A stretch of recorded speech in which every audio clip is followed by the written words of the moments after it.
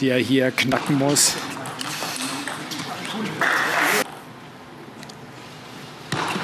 Shankun, eine Bundesliga-Bilanz von 20 zu 7. Und das wird hier wahrscheinlich auch eine knappe Begegnung werden. Bei den chinesischen Meisterschaften jeweils eine Bronzemedaille im Herrn. Ja, was soll man zu ihm sagen? Der Rekord-Europameister, elf Medaillen bei Olympischen Spielen und Weltmeisterschaften, 19 Tischtennissport. Natürlich auch zusammen mit Jörg Roskopf, der hier weiterhin an meiner Seite ist. Jörg, was meinst du bei diesem Duell? Wer wird da die Nase vorn haben? Natürlich ein enges Spiel. Im Champions League hatte Shankun äh, 4 zu 0, glaube ich, im fünften Satz noch geführt gehabt. Da, damals ging es nur bis 6. In der Champions League haben sie ein anderes System gespielt. Ähm, aber ähm, ja, Timo hat so viel Erfahrung, so wie du gesagt hast. Er hat schon wirklich auf allen großen Turnieren gespielt, um alle Medaillen mitgespielt und äh, auch schon viele, viele Titel für Borussia Düsseldorf geholt. Äh, man, ja, man ist gespannt, immer wieder zu, zu sehen, wo ist der Stand äh, und äh, am Ende dann auch das Spiel gewinnen wird. Ja, interessant, ja, es ist ein Linkshänder-Duell. Das große Problem, weil er äh, natürlich auch mit vielen Linkshändern auch trainiert. Christian Karl reinlassen, sondern wir spielen viel dann, äh, äh, irgendwelche Ballwege, sogenannte tiefe Vorhand. Jetzt kommt ein Ball eigentlich auch extrem schnell zurück. Ähm, und deswegen ist es kein Problem mehr. Ja, Shankun liegt hier jetzt mit 7 zu 5 in Ah, ein Rückstand, weil er schützen kann.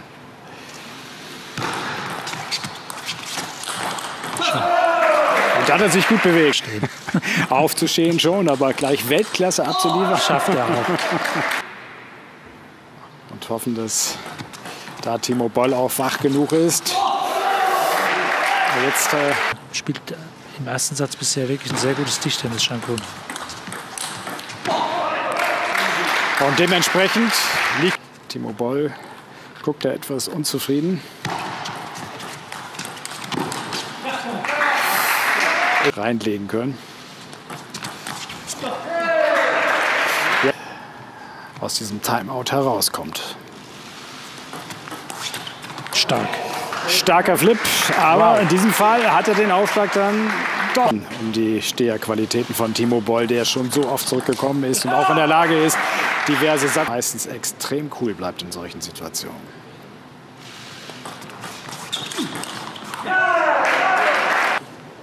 Aber natürlich wäre es auch wichtig für Borussia Düsseldorf, hier mit 2 zu 1 in Führung zu gehen.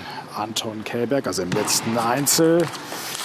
Dann müsste Kellberg mal äh, nach dem Rückstand dann äh, gegen Darko Jorgic, der natürlich auch mit vollem Selbstvertrauen in Sehr starker Rückstand jetzt. Ich muss mal kurz in die Parade fahren. Nach also vorne gekommen, super bewegt, ja, antizipiert und dann zack.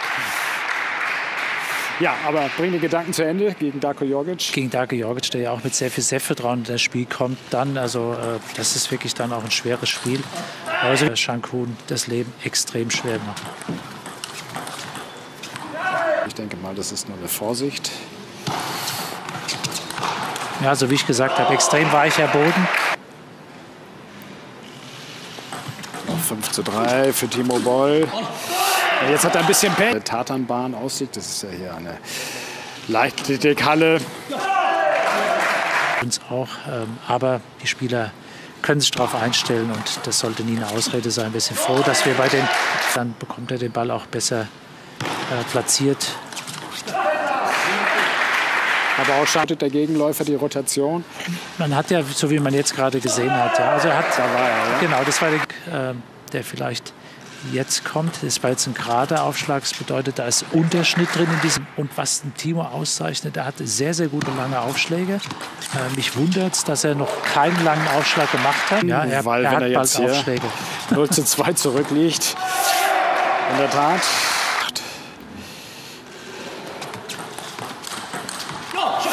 Und er macht den Punkt. 9 gleich.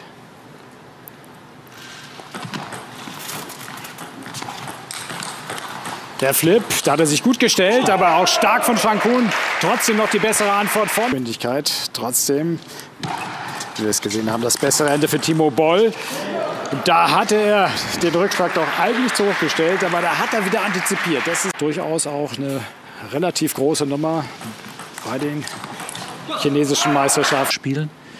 Die hat er verpasst und äh, da wird auch schon dann direkt mehr oder weniger ausgewechselt in China. Da kommt die nächste Generation und so rein und hat äh, Saarbrücken auf ein ganz anderes Niveau gehoben. Ja, und haben dann aber eine erstaunliche Rückserie hingelegt. Also in der Hinserie waren sie nicht mal auf einem Playoff-Platz. Und hier in diesem Spiel führt Timo Boll 4 zu 3 im dritten Satz und auch der Spielstand 1 zu 1. Also alles auf Augenhöhe. Und jetzt ich sehe da so ein ganz kleines Bäuchlein. Ist er nicht so ganz austrainiert oder täuscht das? Kann er ein kleines Bäuchlein bekommen, weil in China natürlich dann auch ein paar Stunden mehr trainiert wird. Äh, ist ein echt schweres Spiel für Timo Boll aktuell. Wieder mit Vorhand. Er bewegt sich nicht zu viel in Rückhand zu bleiben. Guter Aufschlag. Jetzt wieder ein guter Aufschlag. Pokalsieg. Champions League-Sieger übrigens gegen Saarbrücken. Und Deutsche Meisterschaft. Und viermal.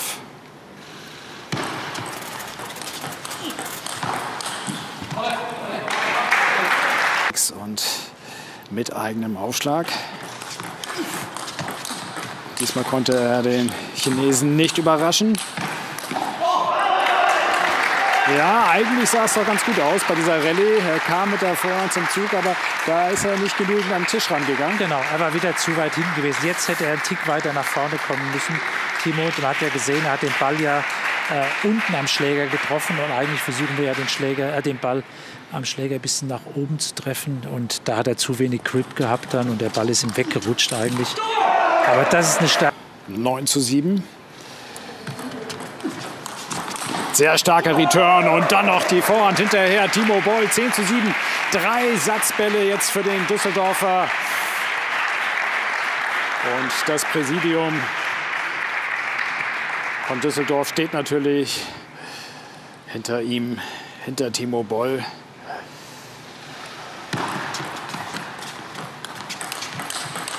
Jetzt ist die Chance da und er nutzt sie.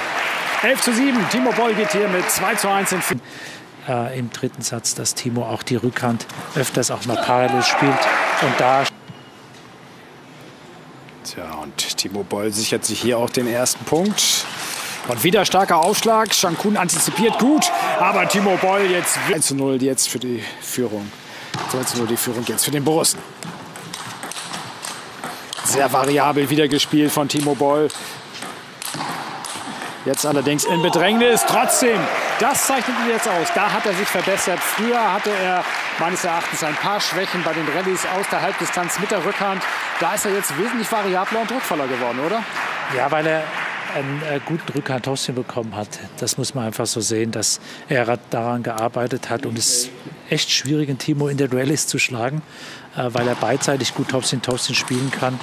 Und äh, jetzt ist er ja komplett im Spiel drin. Auch wenn er diesen Punkt verliert, aber Shankun muss absolut ans Limit jetzt gehen, um da mithalten zu können. Ja, wieder eine sensationelle Reaktion, ein sensationeller Reflex von Timo Boll, aber Shankun ebenfalls auf diesem Niveau in dem Fall und sichert sich den ersten Punkt in diesem Satz.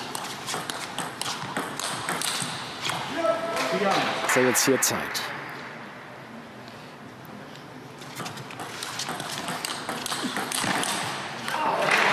Ja, da hat er mal Schanko den Aufschlag gewechselt. Die sind wichtig.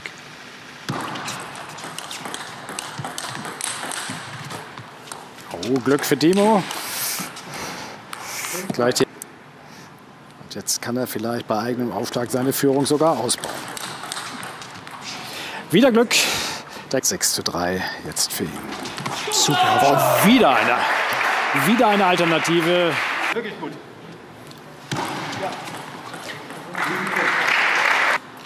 Spielt. In der Tat. Und wir sprachen von den Möglichkeiten von Timo Boll, die er hat, zu variieren. Das trifft natürlich auch auf Shankun zu. Aber jetzt wird genau erwischt. 8 zu 5 die Führung jetzt. Und nochmal die Rückhand hinter.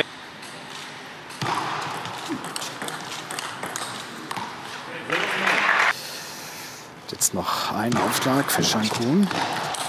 Wichtig für ihn, den Punkt zu machen, aber er macht ihn nicht. Und der erste gleich. Ein Ass sozusagen. Timo Boll letztlich souverän eine ganz tolle Vorstellung.